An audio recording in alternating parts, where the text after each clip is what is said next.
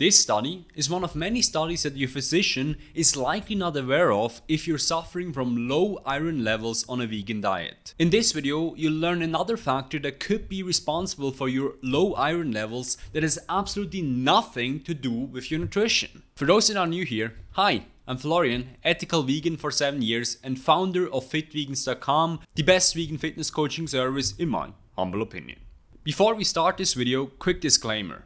I'm not a doctor. And maybe that's a good thing, because most doctors just get 3 days of nutritional training in their 4 years of medical school. So contrary to popular belief, our doctors are often not a good source of nutritional knowledge.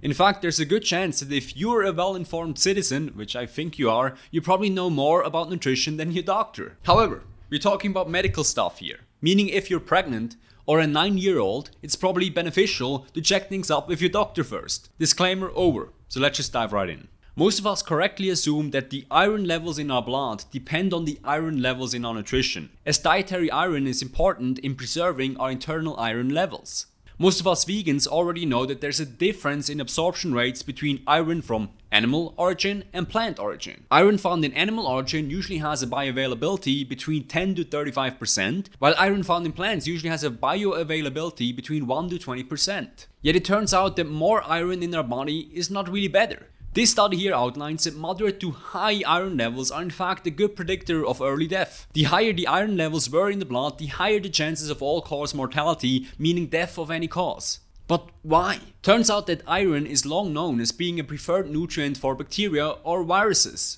So a natural response of our body when dealing with inflammation or an infection is to lower the iron levels in our body. Because what few people know is that most microorganisms can produce within minutes. So what constrains their reproduction is not finding a partner and you know pregnancy as it does in humans, but the availability of nutrients. E. coli, for example, can literally reproduce in 20 minutes under optimal conditions. This means it would take less than 7 hours to get 1 million of these f***ers. No pun intended, as bacteria reproduces asexually.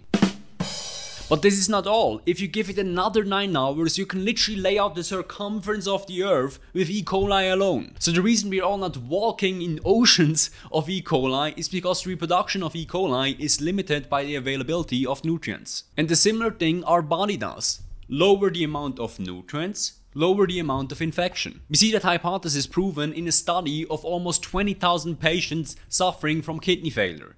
The more iron you inject in the patients, the higher the chances of death are due to infection. This study here showed that HIV patients suffer from a more rapid worsening of symptoms if they do have high iron levels. Which brings me to the two key takeaways of this video.